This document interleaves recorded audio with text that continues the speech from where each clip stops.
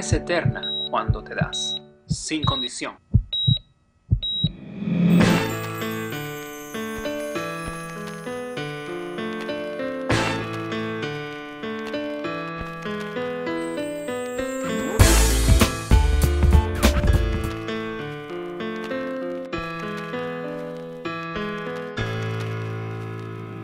Hola amigos, buenos días. Les saluda Raiza Mendoza.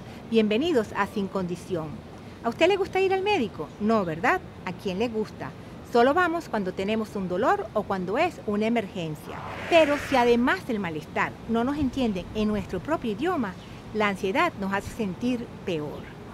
No, yo prefiero que me hablen en español porque es mi lengua la que conozco 100%.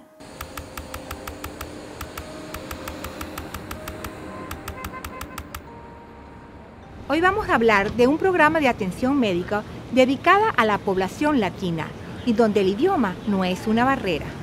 Todo comenzó cuando Juan Carlos Caicedo, médico colombiano que se entrenaba en el área de trasplantes del Hospital Northwestern, notó la dificultad que tenían los pacientes hispanos para explicar lo que sentían y entender cuando se les hablaba en inglés.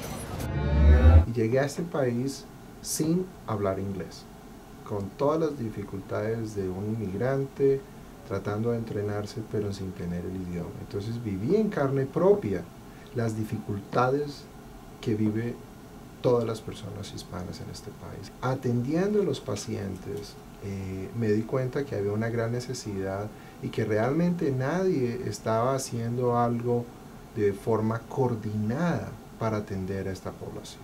El jefe del servicio también era descendiente de hispanos y comprendió que había que hacer algo para atender a esa parte de la población que estaba creciendo rápidamente. Nosotros crecemos más que cualquier grupo étnico, crecemos en un 43% cuando el resto de la población crece apenas en un 5%, y esto es de acuerdo al último eh, censo del 2010. Eh, la mitad del crecimiento de esta nación es basado en el crecimiento de los hispanos. O sea, somos muy importantes. Estamos creciendo aceleradamente y nuestra comunidad es la más afectada por enfermedades como la diabetes, la hipertensión, la obesidad y la hepatitis. Y eso nos lleva a necesitar de más trasplantes. Los hispanos somos los que más estamos creciendo en la lista de espera y de hecho tenemos una alta mortalidad en la lista de espera y tenemos un índice de donación muy bajo. Basado en esos números, los profesionales de la Northwestern entendieron que la población hispana no estaba siendo tratada en forma adecuada. Era necesario crear un programa en donde se tomara en cuenta la manera del ser del hispano. Estaban tratando de atender a un hispano de la misma forma que atenderían a otro, otro paciente en, en inglés. Nosotros tenemos una cultura diferente, tenemos una, lengua diferente, un idioma diferente, y eso es lo que hace la diferencia. Nosotros debemos personalizar la atención médica de los pacientes. No podemos atender a todas las personas de la misma manera. Hay que diferenciar la atención dependiendo de la cultura, dependiendo de la lengua de las personas. En general decían los hispanos, no donan órganos, lo cual también es falso. Lo que necesitan los hispanos es que se les explique qué es lo que está pasando y esos están muy dados a ofrecerse, a ayudar a otro ser humano, pero si entienden. El gran problema es falta de información adecuada.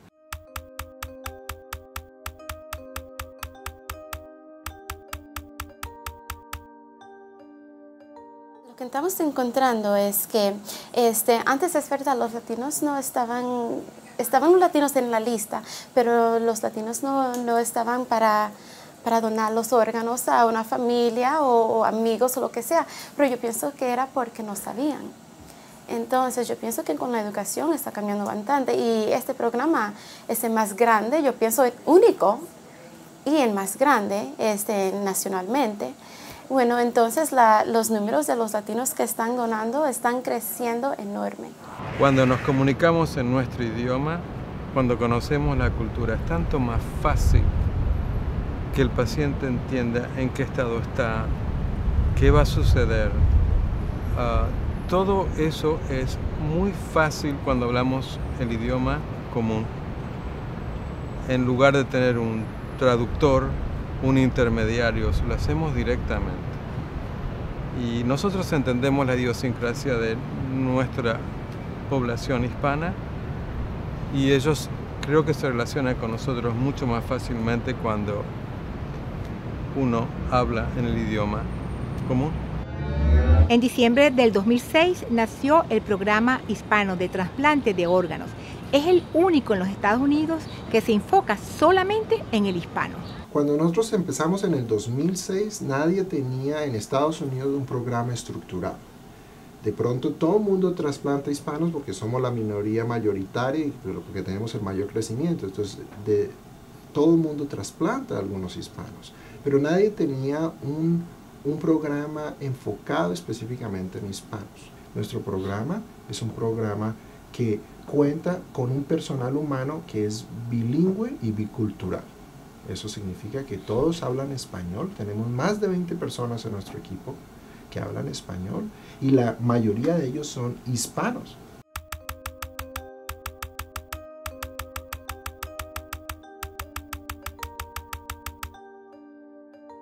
Mi trabajo es correr la clínica totalmente en español, registro los pacientes, los asigno a sus coordinadoras que son sus enfermeras, coordino que se vean con el dietista o con la trabajadora social y coordino sus exámenes aquí en el Hospital Northwestern.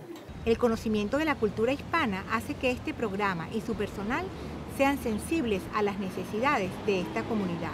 El lenguaje es un obstáculo para ellos de que si van a hacer una llamada, que no se les va a atender en español, les explico en detalle todo el proceso, de que es de, principio a fin, los detalles y, ah, y el proceso de, la evaluación de trasplante. Uno de los problemas de los latinos es la falta de información y esa es nuestra misión.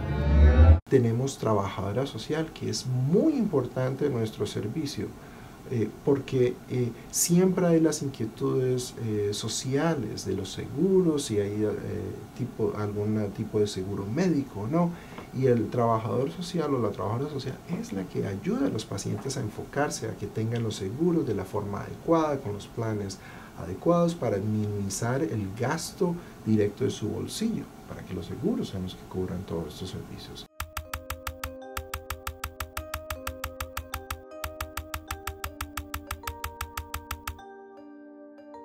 Mi trabajo es asegurarme que los hispanos puedan entender todas las, opciones que tienen y que tomen sus decisiones de tener un trasplante o no con la educación.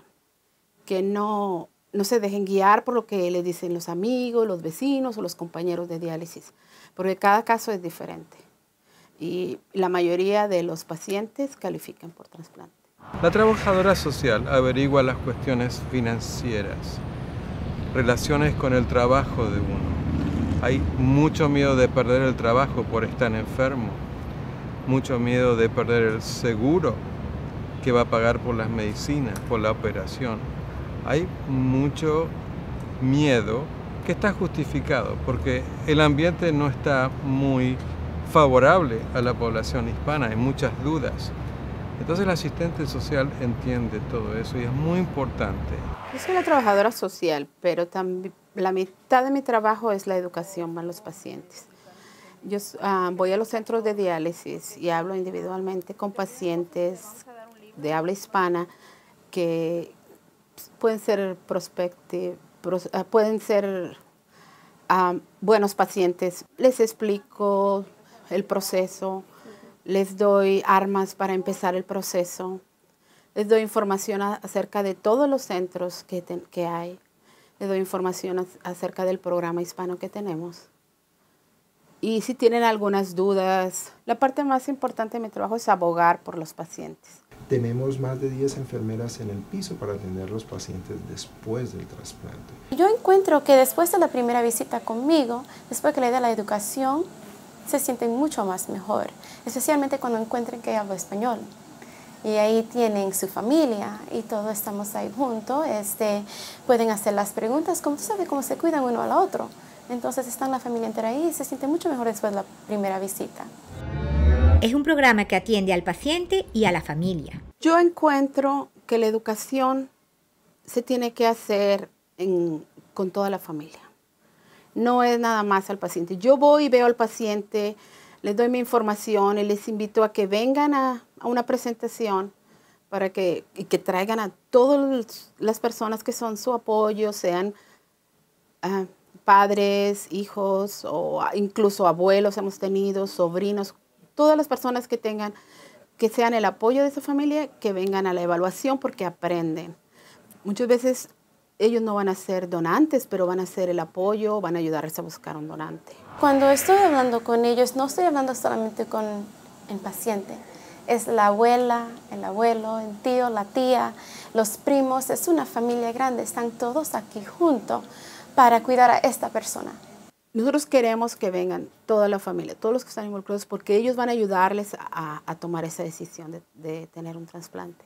En contra de lo que todo el mundo piensa, que los hispanos no donan, que, es que las minorías no donan y que los hispanos no, aquí con educación, trayendo a toda la familia, se ha, habido se ha visto un cambio gigante.